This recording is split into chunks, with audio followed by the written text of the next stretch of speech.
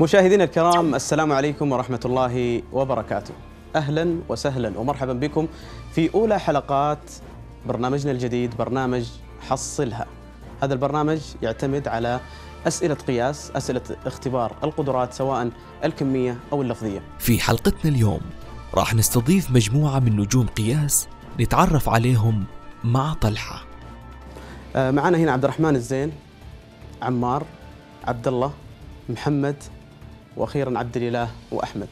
الشباب يشاركونا في الحلقة في جواب الأسئلة. آه الهدف من البرنامج إنه يوصل ال- الطالب طالب الثانوي أو آه المقدم على الجامعة يستفيد من جواب اسئله القدرات الأقصر والأسهل. بحيث إنه إذا قدم على اختبار القدرات يكون عنده رؤية عن أسئلة اختبار القدرات. حياكم الله شباب. يعطيكم ألف عافية. أمام الشباب فرصة دقيقة واحدة فقط لحل السؤال بمجرد انتهاء طلحة من طرح السؤال عليهم. جاهزين؟ طيب. السؤال يقول ما هو العدد الذي إذا ضرب في العدد الذي يليه كان حاصل ضرب العددين يساوي حاصل جمع العددين زائدا 19 الخيارات ألف ستة باء سبعة جيم خمسة دال ثمانية هاء ثلاثة. نبدأ الجواب. بدأ العد التنازلي للحل والحماس يبدو واضح على الجميع حتى على طلحة اللي دخل في الجو مع الشباب لكن واضح انه ما حد اعطاه وجه. 16 خمسة بس ثلاثين ناقص 19 خمسة ضرب 11 طيب خمسة زائد 6 هو 11 ضرب لا لا لا مو صحيح. أظن أي تمام لا أنا قاعد أخرب عليكم بس راحتك كمل كمل حل خلصتوا ما شاء الله؟ لا حليت شكلكم من قبل استخدمنا الطريقة الأسهل طيب حناخذ منكم الجواب.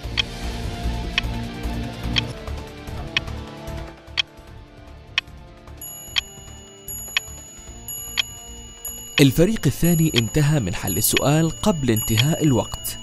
لكن الفريق الأول يبدو أنه مرتبك بعض الوقت الشيء شباب. ولازم شباب انتهى الوقت. يتأكد من الإجابة قبل انتهى الوقت. انتهاء الوقت. وصلتوا الجواب يا عمار؟ حنوصل لأي نعم. الجواب آه، خمسة. جيم. جيم خمسة. أي نعم. والشباب الجواب؟ خمسة. جيم خمسة؟ من اللي غاش من الثاني؟ طيب يعطيكم ألف عافية. خلينا نشوف أول شيء الجواب اللي أخذناه من متخصص في اختبار القدرات. نشوفه شو مشاهدينا. كانت إجابة السؤال في الخيار جيم الرقم خمسة. باعتماد طريقة التجريب نختار الرقم خمسة. خمسة في ستة الناتج ثلاثين وهو يساوي خمسة زائدا ستة إحدى عشر زائدا تسعة عشر ثلاثين. ورجعنا لكم مشاهدينا آه ناخذ تفصيل ال- الأجوبة اللي طرحوها الشباب لهذا السؤال. عمار ممكن تعطينا كيف جاوبت على هذا السؤال واخترت الجواب جيم خمسة. إحنا أخذنا يمكن شفهيا أو من عن طريق تجريب الخيارات. نجرب كل خيار ونشوف على ال- ال- نطبق على السؤال. ضرب العدد نفسه والعدد اللي بعده لازم يكون حاصل الضرب هذا مجموع العددين زائد 19 طلع خمسة هو ال- العدد ال- نفس النظام خمسة وستة. مهم. فالجواب النهائي جيم. جيم جميل. آه عبد الله. طبعا هذه الأسئلة الإجابة الأقرب والصحيحة لابد من التجريب. وصلنا إلى خمسة.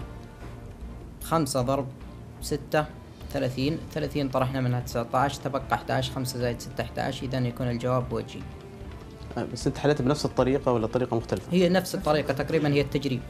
بس إيش الفكرة في سرعتكم؟ يعني أنتم ما شاء الله كنتوا أسرع من التجريب. المجموعة. تجريب جربتوا بشكل أسرع من التجريب بشكل أسرع. وزعنا المهام تقريبا طيب يعطيكم ألف عافية. طبعا السؤال كان سهل جدا مقارنة بمستوى الطلاب العالي. السؤال كان سهل جدا ولم يستغرق الوقت طويلا ليجيب الطلاب على هذا السؤال.